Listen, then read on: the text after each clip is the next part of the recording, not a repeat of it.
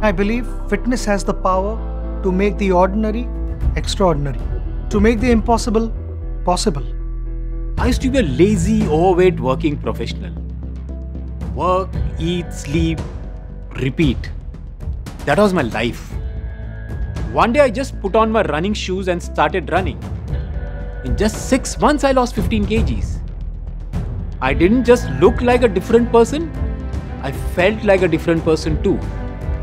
Fitter, stronger, happier person. Running has the power to transform lives. So come on, let's start running, get fit, and transform ourselves.